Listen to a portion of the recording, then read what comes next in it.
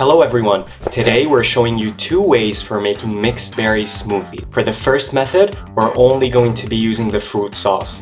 Begin by adding ice cubes, mixed berry sauce and water. Blend until ice is crushed. Method 2. Start by adding ice cubes, mixed berries, fruit sauce and water. Blend until ice is crushed, but not too long, to retain the pulps of the fruits. And there you have it, two methods for creating delicious smoothies. Happy blending!